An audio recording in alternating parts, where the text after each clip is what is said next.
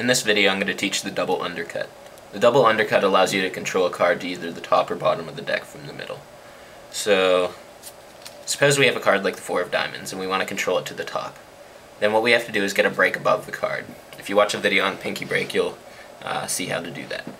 Then what you want to do is come in with your non-deck hand and just grip everything that is the deck and the break, still maintaining it.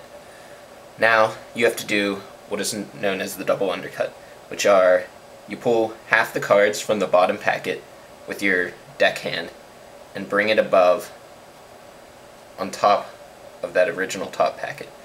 And then you bring the last remaining half on top as well. Now if you'll notice, now we have the four of diamonds on top. So just to see what that looks like, take the four of diamonds, you get the break, cut some on top, cut some on top. Now you have the four on top.